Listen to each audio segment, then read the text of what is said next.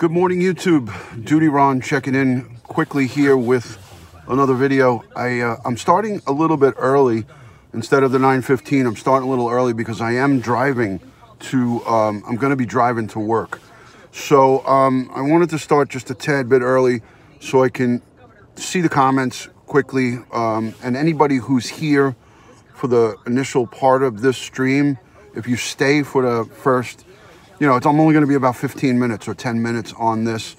Um, but if you stay on the stream and anybody comes in and let, just let them know I'm not going to be answering comments on stream as I'm uh, as I'm driving. It's you know it's just dangerous to look at the screen. So um, I'm going to say hello to everyone who's coming on in here. Uh, Scarlett, author, writer, thank you so much for coming in. Uh, appreciate you being in here, first time viewer. If you're a first time viewer, let me know. Um, let me know if you're you know if you're watching for a first time. Hi Gail, good to see you. Um, I'm going to get to that in a second. Carla, thank you so much for being in here. J Dubs, good morning. American Patriot, appreciate that. Trust me, I don't do this much, but I'm going to do it just to talk. Um, part of my routine in the morning, and this was this has been going on for a long time. Hi, Long Island girl. Good morning.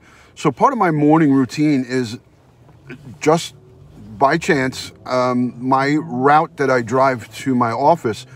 I go by Justina uh, her home in, in Valley Stream. I drive past it every morning.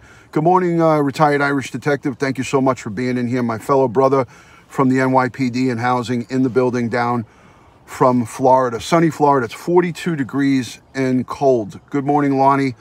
So again, um, share it out onto your social media. I'm here to talk to you about um, the babysitter, uh, the nanny as they call it, of little baby Thomas Valva uh, Amanda Wildman is going to be on is going to be on Wow Gail uh, is going to be on Dr. Oz at 1 p.m. Fox New uh, Fox Five.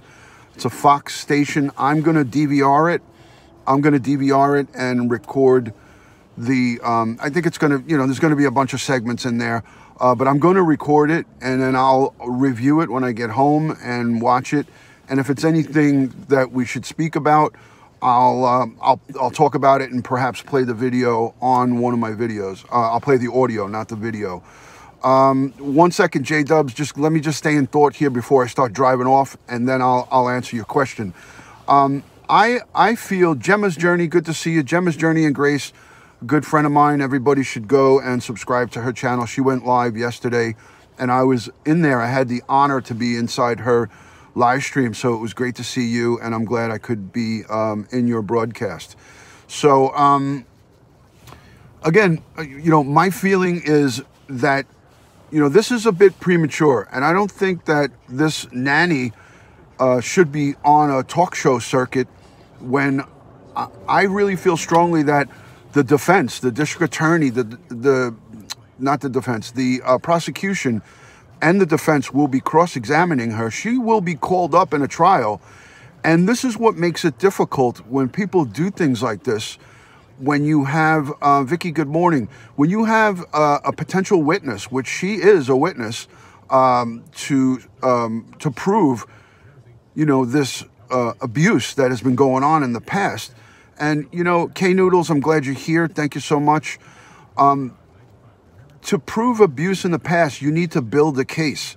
And if she saw uh, Angela, as she puts it, as the ringleader and Michael following suit, uh, like she was portraying Angela as the person of that would institute the this corporal punishment as they call it you know sit on the couch i don't care if you have to go to the bathroom you could sit you'll sit there until i tell you and he would just follow her. And this is her words. This is what she was saying. I watched a, a minute long clip that um, this nanny went on to say that i feel that she uh, the nanny felt that the the the the fiance angela polino was the person behind you know and and this is just her speaking but you know they are both. I, I agree, crazy anim, uh, crazy life. They're both animals. But you know what? If this nanny has that information, why go on a talk show circuit? Why go on Dr. Oz? What's it going to be next? Dr. Phil? You know, it makes it really hard Thank you, Nell. I appreciate Nellie Bell. Thank you so much. I feel that it's going to make it difficult um, for her to get in, for them to get a jury of her of the peers to come on there and say, "Hey, no, I, I never heard anything about this case." When you now have it on a nationally syndicated talk show circuit, so I think that she could have done these interviews after the case is over or after the fact. But I don't see any any value other than Dr. Oz trying to sell views and get ratings behind this tragedy tragedy. And I, I feel strongly from a law enforcement standpoint that they shouldn't be speaking about it. You know, you're talking about a show that reaches millions and millions of people. And um, you know, I, I feel that the, the, she should have respectfully declined uh, you know, whatever money she's being paid to show up on that show, and I guarantee you, she's not just coming on that show just just out of the goodness of her heart. You know, they paid her to come there. They probably picked her up in a limousine and, you know, um, picked her up and you know. So, Joey Brooklyn, good morning and happy birthday, guys! Everybody in the chat, please wish Joey Brooklyn a very happy birthday. Uh, wish Joey Brooklyn a happy 29th birthday.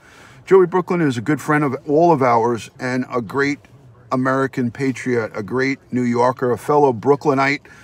So Joey Brooklyn, happy birthday, brother. I am going to get ready at 9.15 to start driving off. Um, they can't because she's already taped the show. The show is already taped and it's going to air at 1 p.m. Eastern today. So um, the show is going to air. It's already been taped. Um, and and it's unfortunate that they're doing that, man. So uh, let me just let me just share this on a community post. Uh, I am live.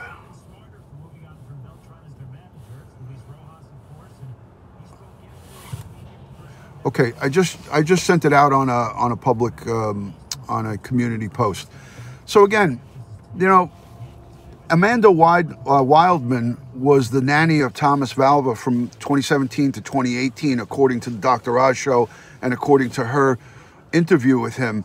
Um, and you know what, guys, she should have waited. She should have held back and not gone on that show because the prosecution is going to have to question her. In during the trial, you can bet your bottom dollar that she's going to be called to that witness stand. There's no question in my mind that she's definitely going to be questioned. She's going to be called in and questioned.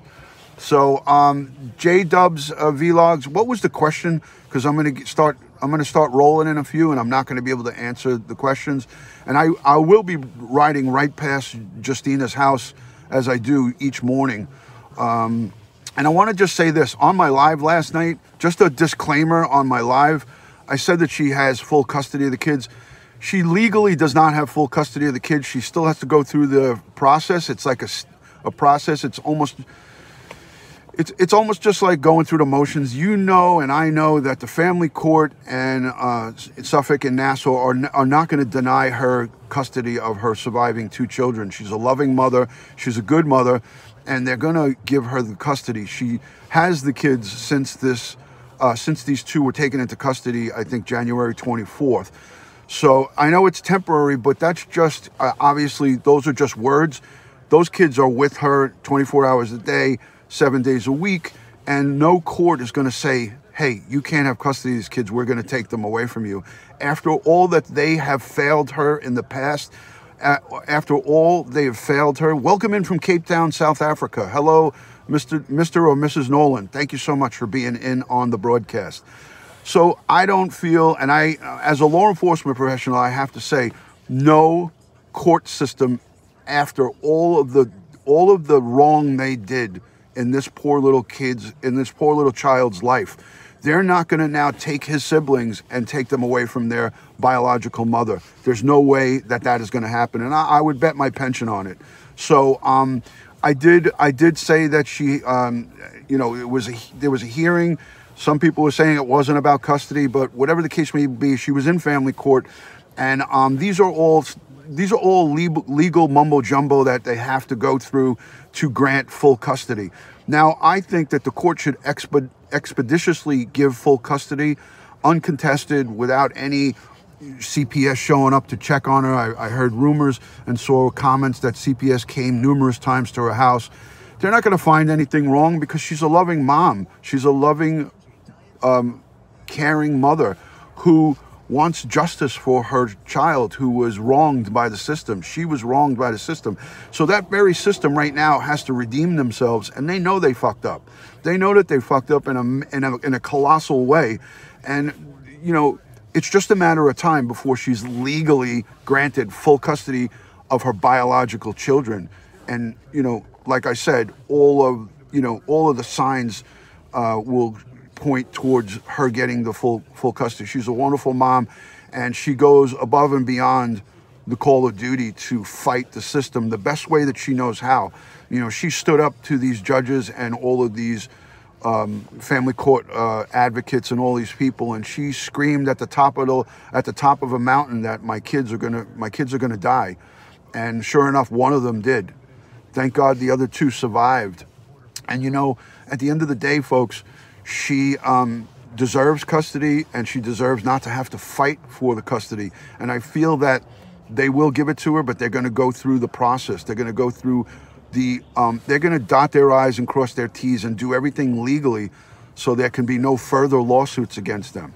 So um, they've already been there, uh, Dennis. They've already been there numerous times. So um, yeah, I love that she calls them out by name, and I love that she continually does that. And they cringe every time she's on a news circuit doing that. Trust me, they cringe every time she does that. All right, guys. So I'm gonna I'm gonna start the drive. So I'm not gonna be able to read the comments, but I did want to say this. You know, as a New York City retired police detective and as a police officer for the city of New York, I have to tell you that there were so many times that I've saved children from abusive parents. And I told you guys the story about the young boy, seven years old, who had burn marks all over his body from cigarette burns. His mother, uh, I got a call when I was on patrol. Me and my partner, a female partner, we went to a house, an apartment in the projects and the housing projects.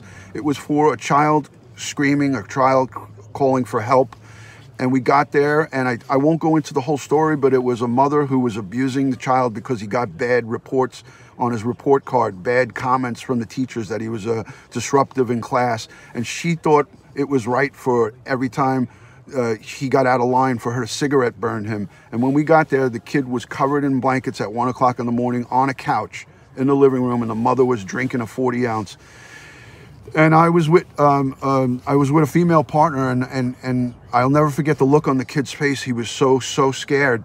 You could see his eyes were wide open, and he it was one o'clock in the morning. It was a school night, and I I, I all all of the markers, all of the alerts went off in my head that something was very wrong. And I separated the mom from the kid. I took the my female partner took the mom, and I stayed with the boy. I got down on one knee and I said, "Hey, buddy, what's going on?" And the kid wouldn't answer me. And I said, It's okay. I'm here to help you. I'm here to help you. Little buddy, I'm, I'll, I'll help you. You just tell me what's happening. And he said, Please take me away. Please save me. Please help me. He kept saying it. And I said, What's wrong? What's wrong? And I slowly removed the covers, and there was burn marks all over his legs, all over. He was wearing a shirt and underwear, so I couldn't see anywhere else, but there was marks, burn marks all over his body, and she was burning him with a cigarette. Some of them were old and some of them were new. And we wound up arresting her. But if the neighbor hadn't called, if the neighbor, if, if neighbors didn't call, that would have went on because she certainly wasn't going to call. And her, the grandmother was there who was 80 years old, and we had to arrest her too. Dennis, we took them into the PSA. I was with Mitzi Palmer. Uh, you know her uh, on the midnights. Uh, B Dog took the night off. My partner Brett took the night off, and Mitzi Palmer was my partner that was one of the few times I put my hands on a woman in my life. And um, I, she said that the, you know, when we put her in handcuffs, she said that the kid deserved it. And the crazy part was, is that her sister was a New York City police officer, and her sister didn't know any of this was going on either. But she had the gall to come to the precinct and complain to me that why is her grandmother, 80 years old, in a cell? And I said, well, she, she failed to call 911 she failed to call 911 and she's being uh, she's she got arrested for endangering the welfare of a child. Okay, guys, I'm pulling off. So that's just a story I wanted to share with you guys because I feel that you know, the New York City and all police officers are getting a bad rap. Yes, Michael was a New York City transit police officer, and he's a piece of shit. He's a low-life scumbag. He's every worst name you could call in the book. I'm driving now, so I'm not going to look at the comments. But Michael Valva is the scum of the earth, is the worst of the worst. He is vile, a piece of garbage. And he was a New York City police officer, and that makes it a hundred times worse.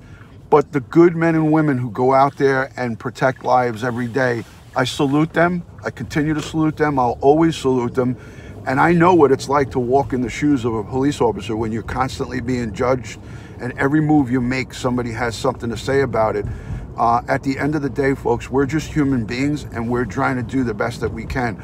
So when you go into chat groups or um, Facebook groups or any groups or Twitter or any social media and you want to jump on that bandwagon and bash police officers, they may, they may be the very person between life and death for you sometime in the future. So always remember that these, these police officers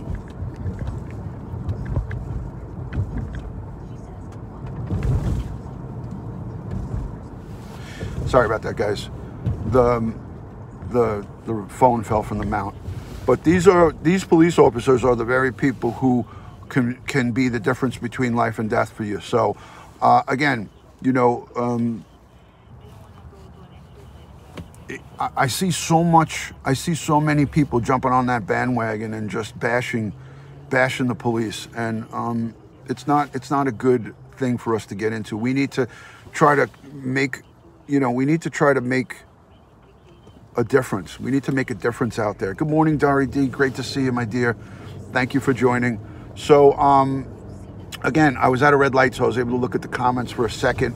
But um, these glasses are just for reading, so I had to take them off. I can't drive with those glasses on. Um, they're only just for uh, up close reading. So I'm going past um, Justina's house right in about 30 seconds I'll be passing by. And what I love about what's going on at her location is that a lot of people and a lot of her family or friends, people who are concerned citizens that want to help, ladies, gentlemen, they all put blue ribbons on the trees that line her block and um, blue ribbons out in front of the house. So every time in the morning when I go by there, I get a good feeling of, you know, um, solidarity of people trying to help her and I know she's gotten an overwhelming amount of. All right, I gotta. I have to end this because uh, the phone keeps falling off. Uh, it keeps falling off the mount. So eh, you know she's getting an overwhelming amount of, of support. Blue ribbons. I'm I'm riding by there right now. You can see them on the trees behind me. Blue ribbons on the street, on the trees, and I think it's a beautiful thing. And I love that you guys, whoever has done that, kudos to you. Kudos to the people who put those blue ribbons on the trees and all around her uh, house where she lives. Uh, it's a it's a really nice gesture. You guys are you, you guys whoever's doing that are wonderful. Um, and then I saw a bunch of stuff about sanitation. Uh, the sanitation department had some something that they brought over to her, so it's really a nice a nice thing that it's being done for her. Um, I'm sorry that I'm having technical difficulties. but anyways, I want to say also happy birthday to Joey Brooklyn. He is um, on vacation with his beautiful wife. They are uh, having a little getaway for his birthday celebration.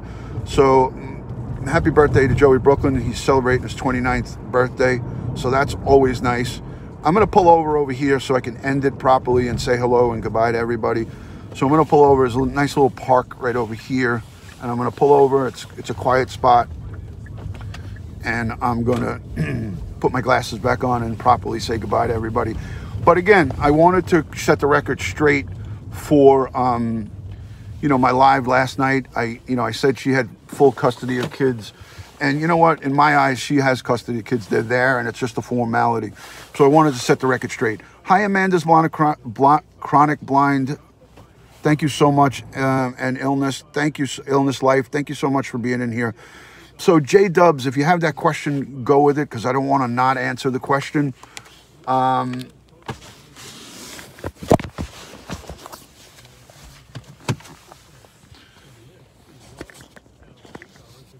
the magnet, the magnet on my my phone is bad. So um, go with the question so I can answer it quickly, and I got to get back going on the road. But one o'clock, Fox Five, Fox affiliate, anywhere where you get Dr. Oz, there's going to be the nanny for for uh, Thomas Valva on the um,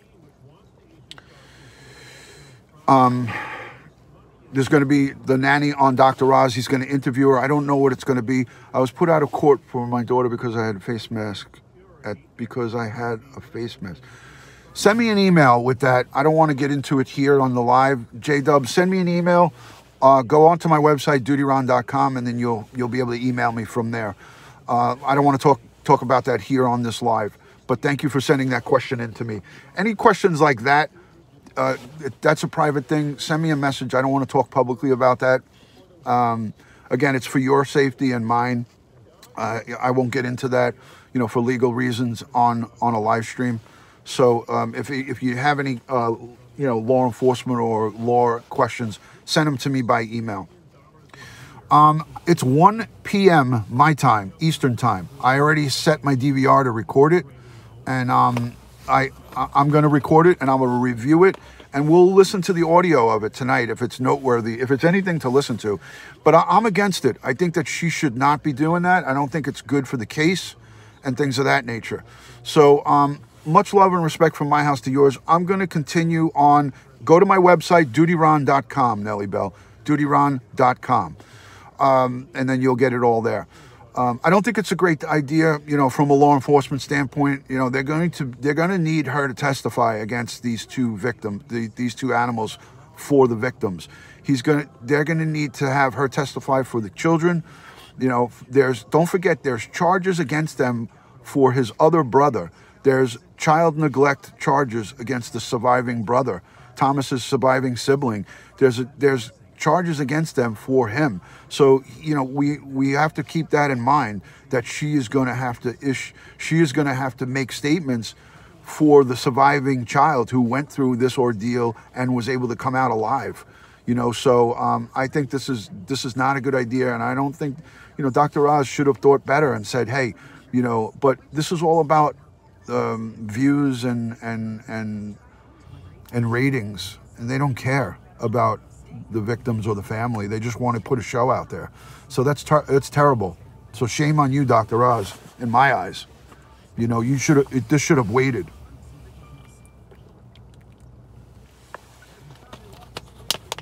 Exactly, Mac. Exactly. All right, guys. Behind me is a really nice pond. I might do a broadcast from here one day. It's beautiful. So I'm going to go. I got the sun in my eyes. I'm all messed up here. My phone keeps dropping. This was one of my worst um, technical broadcasts that I've ever done. Uh, but thank you all for being in here. Happy birthday to Joey Brooklyn. Uh, much love and respect from my house to yours. I got the thin blue line jacket on and I'm on my way into the office. Hi, Pat. Thank you to my channel members, my Patreons, all of my moderators, all of the great people who leave comments. Follow me on Instagram, Twitter, Facebook, all one word, Duty Ron. Much love and respect from my house to yours. As always, I have respect for the victims. I have respect for Justina and respect for anybody who is a crime victim. As you all know, if you've been following me for a long time or subscribe to my channel, I always, always do things with the utmost of respect. And that's what I'm about. I'm not about trying to stir up the pot or, you know, you know, put out misinformation. And if I do make a mistake, I'm always the first to admit it. Part of being a, a, a good human being is when you make a mistake, is admit to it. So I might have I might have made a couple of you know errors in my reporting yesterday, but she has the kids and she will mark my words. My pension, I could bet my pension on it. She will have full custody of those two children, her biological children, and rightfully so. So um, good things to everybody. Love and respect. Have a great hump day. It's Wednesday, and I will talk to you on the next live. Paul Peck Drywall, go follow. go follow Paul Peck. I got to get a cup of coffee. I'll talk to you guys all soon. Have a good day. Thank you. Share the broadcast. Don't forget to share this. Share it on your public post. Let everybody go and watch this, um, um, this Dr. Oz, and then we'll talk about it later on. Thank you.